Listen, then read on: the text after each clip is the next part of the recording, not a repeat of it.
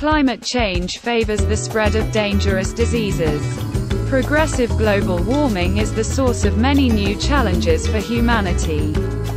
One of them is the increased risk of specific diseases in places where they did not occur so far. However, the matter is much more complex. There are links between the spread of diseases and climate change. A team of experts from various institutions assembled by the University of Hawaii at Manoa decided to take a closer look at them. The description and results of this work have been published in the journal Nature Climate Change. Researchers approached this issue in a systemic way. They took into account 10 threats to people resulting from the conduct of global warming.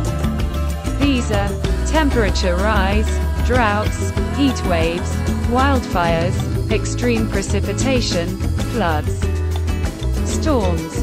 In terms of low-pressure systems, e.g. tropical storms, sea level rise, biogeochemical changes in the oceans and changes in landforms.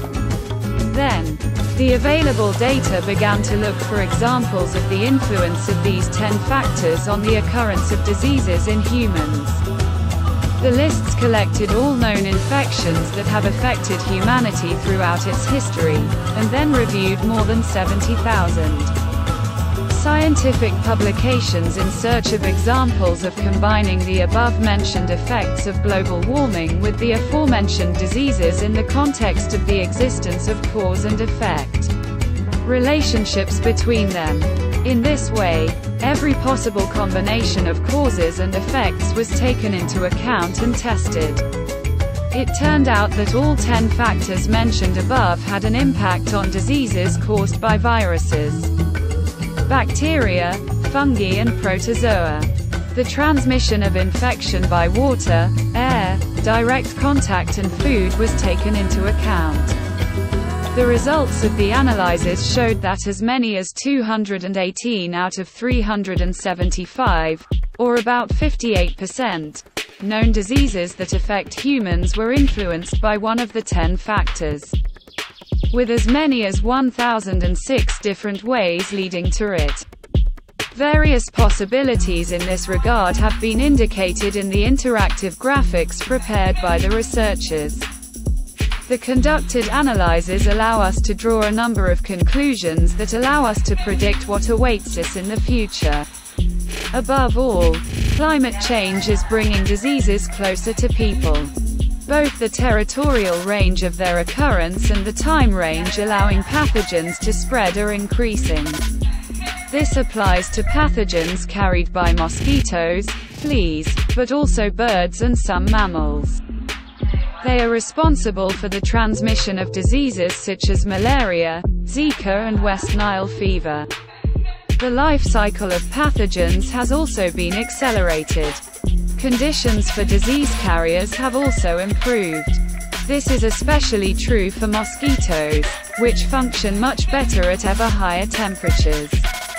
On the other hand, climate change is also bringing humans closer to pathogens.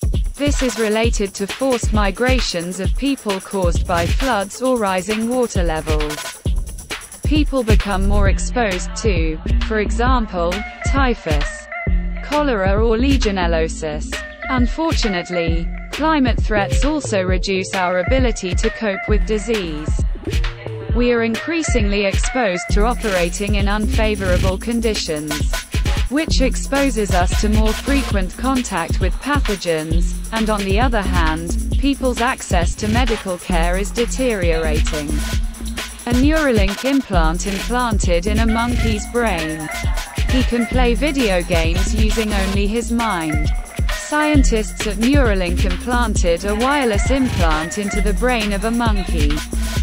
The technology that scientists employed by Elon Musk's company are working on will help paralyzed people to control and control various devices, such as a computer, in the future.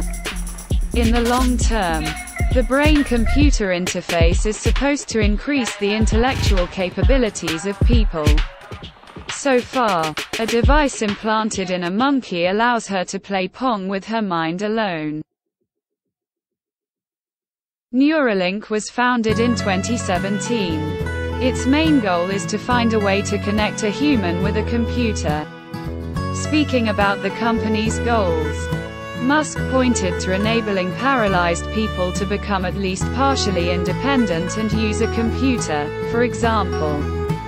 But the chips implanted in the brain will also increase the intellectual abilities of people, as Musk has repeatedly mentioned.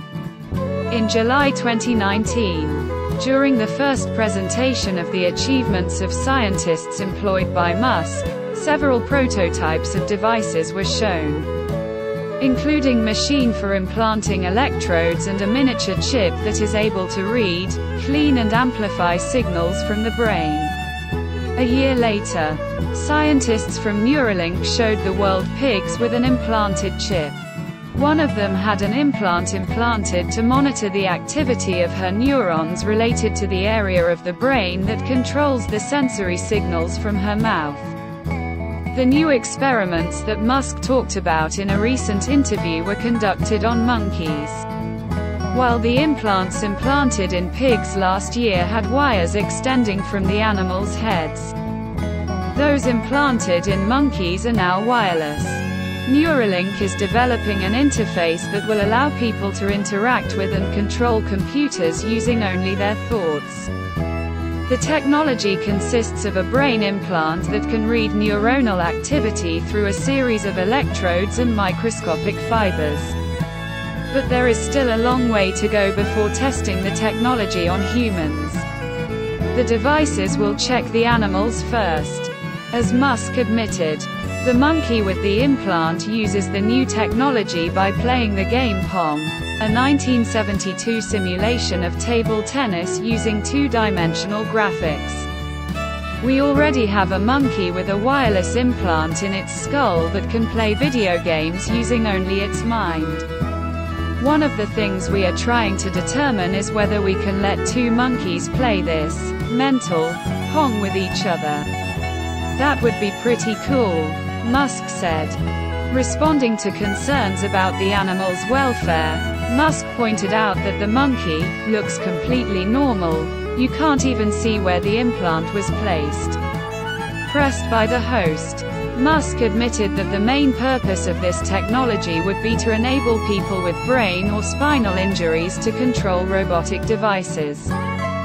He added that one day this technology could allow humans to merge with machines and evolve into cyborgs. He added that people are already almost like cyborgs, given our dependence on computers, smartphones and various other digital devices. Interacting with such devices via hand movement or voice control is relatively slow. Musk wants to eliminate these types of low-bandwidth interactions and establish a direct neural connection between computers and our brains. Such a connection, he said, could happen at the speed of thought. What's more, according to Musk, this technology may in the future allow you to preserve the brain after the death of a person. Her memories and personality could be sent to another person or robot. Of course, all this can be considered in the context of the distant future. Currently, implants are only tested on animals.